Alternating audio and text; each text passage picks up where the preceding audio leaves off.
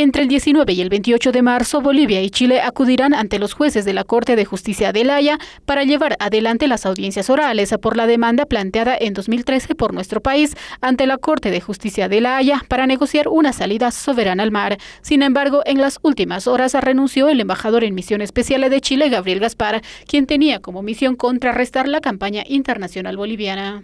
Entonces yo creo que es la etapa crucial, es la etapa en la que evidentemente ante los jueces se va, se va a poner de manifiesto los mejores argumentos y ahí es donde nos veremos. Eh, yo entiendo que se ha bajado ya uno de los miembros del equipo chileno, ¿no es cierto? Entiendo que eh, el, señor Gaspar, ¿no? Que, era una de las personas que en su momento la presentaron como, como el Messi de la diplomacia chilena. Bueno, se quedaron sin Messi.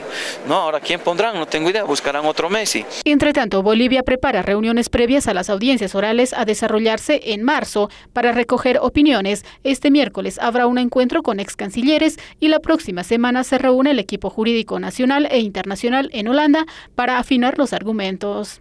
Este es un año muy importante, eh, en obviamente la fase de alegatos orales es la parte eh, final determinante eh, desde el punto de vista de exponer posiciones.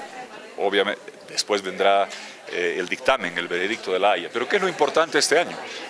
El electo presidente de Chile, Sebastián Piñera, decidió mantener al equipo de agentes parte de la defensa de los intereses de su país en la demanda marítima boliviana en la Corte Internacional de Justicia y jurará ante el Congreso Pleno el 11 de marzo para asumir la presidencia de la República, seis días antes del inicio de las audiencias orales.